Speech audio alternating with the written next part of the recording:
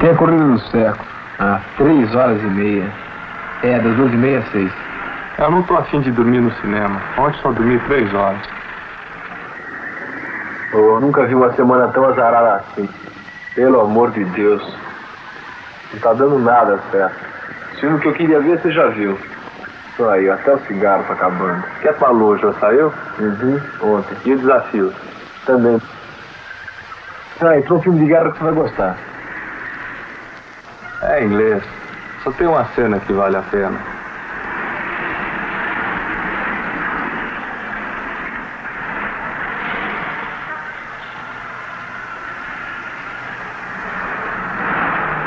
E no Pigalle, hein? Acho que é um filme russo. Ele precisa inventar um troço, nós vamos passar o dia assim nessa fossa. Não, eu não tô na fossa. Eu tô com sono duro. Ontem torrei tudo lá com aquelas minas. Deixa eu ver quanto é que eu tenho aqui no bolso. Hoje é quarta ou quinta? Acho que é quinta, né? É capaz de ter entrado o filme dos Beatles, Luiz. Semana que vem só. Mil pratas. Pra duas meia ainda dá pra comprar o último bafo. Vambora, paga tu. Vou pegar oito e meia aí no biju. Filme italiano não dá mais. Não dá mais pra assistir. Pelo amor de Deus, quanta frescura. Pra que fazer tanta onda? Assim não é possível. Eu entro no cinema e durmo, não vejo a hora de ir embora. É, no fim é isso mesmo. Vou acabar sem ver nada.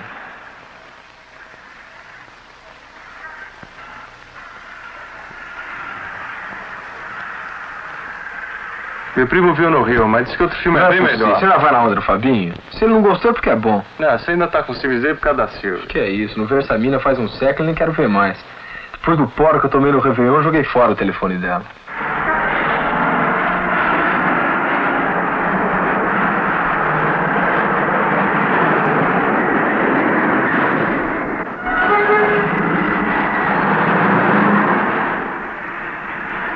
Tem o último bato aí, Luiz? Tem o número extra. É novo? É. Só esse mês? Janeiro. É, me vê esse mesmo. Vou ficar com ele. 200 cruzeiros.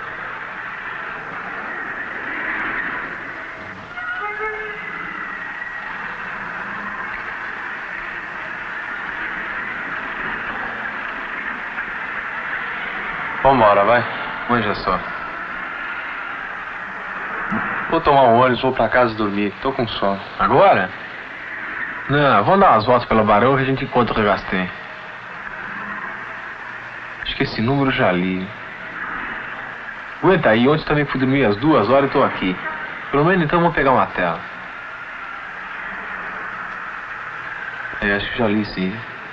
Precisamos salvar a tarde. Mulher não dá pra pegar, bebê você não tem dinheiro. Que tal dar um pulo na casa da Cláudia e ver os discos, hein? Topa. Enche o saco. Não aguento mais ouvir Liz Regina, Mari Davis, Disco do Arena. Sempre aqueles mesmos Não discos. tem uma reprise do Hitchcock nesse cinema? Cine Arizona? Não sei, só vendo.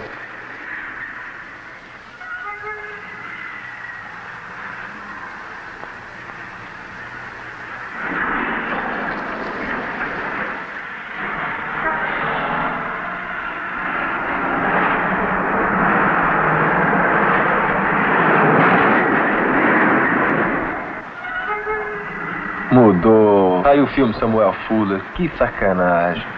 E quem? Samuel Fuller, não conhece Samuel Fuller? Um diretor americano bacana que fez Casa de Bambu, A Lei dos Marginais. Filme colorido filmado no Japão, muito bacana. O bandido morria pelado no banheiro. Você viu sim? É. Não me lembro, não. Vamos tomar um café. Você paga? Tá. Meus últimos 100 paus. Já tô cansado de viver duro.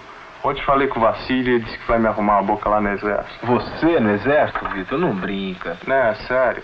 Você é o cara que vive falando das coisas. O ano passado via dizendo que ia casar, montar um apartamento no Largo da Roche. Não, mas essa ideia do exército é velha. E o documentário que você ia fazer pra televisão da Argentina? Não é mais falar de novo em cinema, vai. Vai. Vamos mudar de assunto, falar de outra coisa. E do que você quer que eu fale aqui em São Paulo?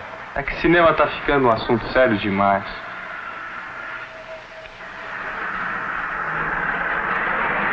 Se você quiser ir, vai. Mas eu já assisti. Eu também já vi. Você não queria ver um filme colorido, diferente? Já que estão aqui. Ah, Vitor, eu vou comprar as entradas. Não. Hoje eu tava com vontade de ver um filme cinemascope, colorido, mais de guerra. Tô cansado de ver filme preto e branco, tela quadrada. Você pode ficar, não tem nada não. Eu vou me arrancando. O que é que você vai fazer afinal? Se for por dinheiro, já te disse que paga. Não, não é por isso não. Besteira se pôr 400 paus assim no lixo. Já te disse que paga. encontrar amanhã à noite, no Paribá, 8 horas, tá? Espera que eu vou com você então. Acabou teu Luiz 15? Não.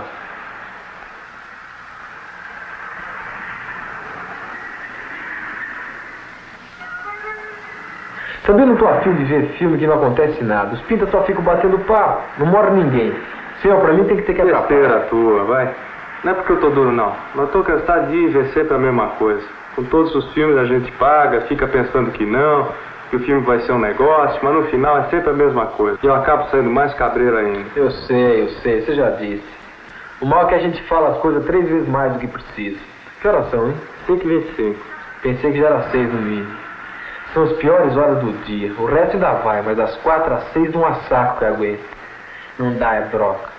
O dia não anda. Esse mês de janeiro até agora acho que foi o pior da minha vida nesses últimos dez Não anos. adianta eu dizer, mas a gente não pode mais viver assim. Sem revolução não dá pé. Que é besteira mesmo. Tem que vir, acabar com tudo, vai começar tudo de novo. Ô, Vitor, vamos logo, senão a gente perde até a sessão das seis. Como é? Vamos ou não vamos? Fala alguma coisa, responde. Você não vai querer ficar aí parado, se lamentando, andando de lá pra cá, feito besta. Eu tô com a perna cansada. E o jornal, vamos logo. A gente fala, fala e acaba tendo que pegar mesmo uma tela. Aqui em São Paulo é como dizia o Fred do Pinheiro. Essa é a nossa famosa geração de merda, de frequentadores de cinema. O negócio é não falar a partir de uma vez. Adianta alguma coisa? Você entrar pra ficar 10 minutos só, tá? Você não tá afim de ficar mais, hein? É lá, Marcelo. Nem eu nem você tá afim de nada. Eu sei que o programa é besta, mas o que, é que eu posso fazer? Você não vai querer ficar aí falando.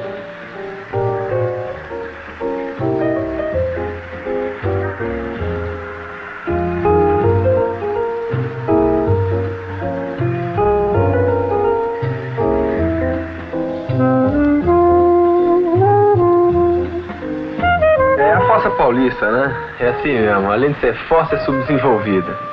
Já viu, né? É, mas o negócio que eu acho bacaninha no filminho é que toda essa história assim de andar duro, de não ter automóvel, tomar ônibus, não sei o que, mais tarde vai ficar um ato de heroísmo, assim, a gente vai poder falar pros nossos filhos, é, eu na cidade andava a pé.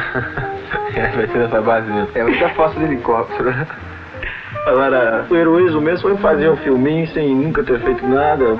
O André, por exemplo, nunca tinha pegado uma câmera, ganhou a câmera do pai dele, foi pra Europa, fez o filme e saiu assim, quer dizer. É, mas Tá tá ótimo, ótimo, né? E foi, assim, feito, né? Não foram só os problemas, pô.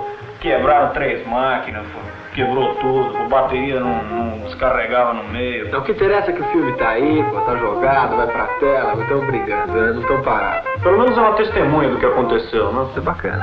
porque o cara lá de Santos me deu 150 contos pra fazer o filme, depois me deu o cano. Eu fiquei aí com o meu dinheiro. Filmar é fácil, mas sonorizar, dublar que é, que é sai caríssimo. Então, então, se não fosse o seu Dedé, o Glauco Mirko Laurelli, o Carlos e o Davi Daldil, que, que ajudaram a dublar no peito, assim, não tinha o filme, não saía nada, entende?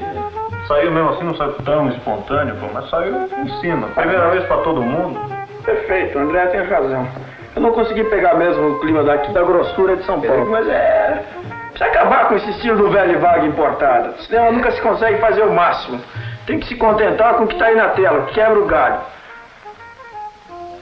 Da próxima vez fazer tudo diferente.